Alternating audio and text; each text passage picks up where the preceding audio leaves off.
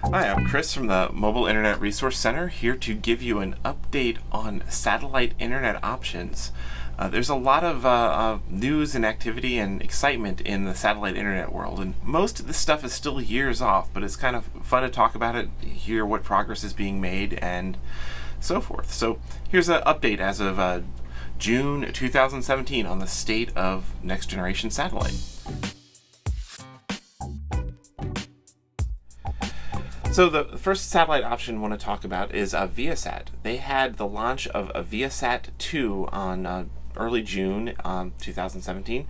This is going to be the world's most powerful single communication satellite once it comes into service um, early 2018. It's still got a long way to climb to orbit and be provisioned. But um, this is a big, giant, huge satellite that will be in geostationary orbit 23,000 miles over the equator and just has a lot of capability in one single satellite. Um, the other, you know, Viasat is uh, the company behind Exede, and so this will power the next generation of Exede service, and we have hopes and some hints that they might actually enable mobile users when this comes online next year.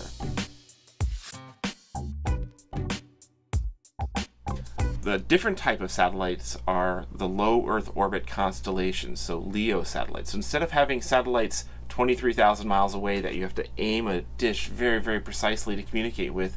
Low Earth orbit satellites, instead of being in a fixed place, are in constant motion much lower down. And the most well known low Earth orbit constellation is called Iridium. The Iridium network has 66 satellites, um, about 700 or so miles up, and they're all spinning in orbit so that there's usually at least one overhead and providing satellite service. And Iridium is known for satellite phones that work anywhere in the globe. Now, the Iridium system is old technology. It was first designed um, in the 90s, first entered service in the late 90s, and has um, was primarily focused on voice. Now, Iridium is right now in the process of upgrading all of their satellites to what they're calling Iridium Next. These new next generation satellites will have more support for, for data services, next generation voice, and still global coverage. But it's a big job to replace 66 satellites in orbit. And Iridium just this just this week had their second launch um, of 10 satellites on a SpaceX booster. Um, so they're uh, two out of eight launches um, planned uh, towards replacing their entire in-space network.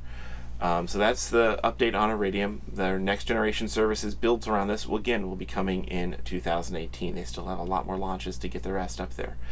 Now, these are the kind of current state-of-the-art stuff. There's some other satellite updates that are really kind of almost blow your mind amazing. So the first one is OneWeb. OneWeb is a company actually backed by billionaire uh, Richard Branson um, and signed up a lot of other uh, investors. And they are setting out to build a low Earth orbit constellation with 700 satellites, not the 66 like Iridium. And Iridium's focused on, even with their next generation systems deployed, about megabyte, megabyte and a half speeds. Um, you know, OneWeb is aiming for 50 megabits per second worldwide with these 700 satellites. And because it's low Earth orbit instead of geostationary, you get 25, 30 milliseconds or 50 millisecond ping times as opposed to 600 millisecond ping times. Um, OneWeb announced just uh, this month a major milestone in towards their getting into the air is they've gotten the FCC license to bring their service to America and actually begin the launches.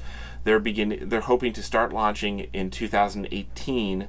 They're going to take a lot of launches to get 700 satellites up, and by 2019 they hope to have enough to begin service um, up in Alaska and further north points, places that have never had reliable broadband before. So pretty exciting still. 2019 is the earliest we'll see anything from OneWeb. And then the next one is SpaceX. Um, SpaceX has been talking for years about plans to build a next generation, truly global um, broadband system, and they've been in their filing to get their own FCC license. They've been revealing more and more details of what they're planning to build.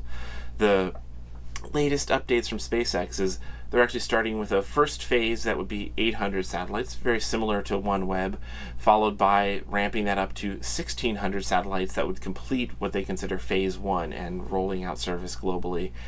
Then immediately going into a phase two where they'll up the total number of satellites to over 4,000 in their low Earth orbit network to provide. They're sh shooting for gigabit per second, up to gigabit per second service anywhere on the planet, which is pretty amazing. And just this very recently, SpaceX revealed in another FCC filing that that's not where they're stopping. They're hoping to do a very low Earth orbit uh, constellation with 7,000 satellites that will be at an even lower altitude, just 150, 200 miles above the Earth. Um, nothing like that has ever been uh, dreamed of before, and particularly if you consider there's only around 1,600 satellites total in orbit right now from all countries and all providers, having this many new communication satellites uh, going into orbit is going to drastically change the game. Now, SpaceX is hoping before the end of 2017 to launch a single prototype satellite to test their technology, do a second launch in 2018 to further test their technology, and they wouldn't even begin to start launching um, the backbone of their network until 2019, with no service probably not likely until 2020. But some really exciting things coming down the pike with a satellite.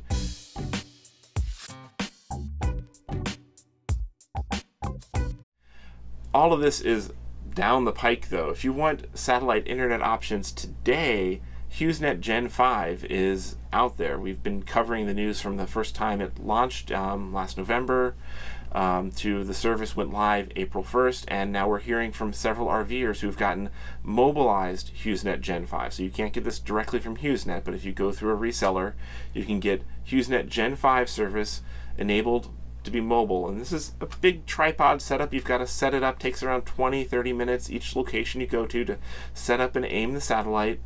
Um, but Gen 5, we're hearing reports from the field of getting 50 megabits per second down and 3 megabits per second up, which is actually faster than HughesNet promised. Their uh, advertised speed is only 25 megabits per second. So that's pretty exciting to have that sort of service anywhere you go in North America or in the United States right now that is available today and fairly affordable. So we've got here's the update on the current state of satellite and some of the exciting things to look forward to in the years ahead.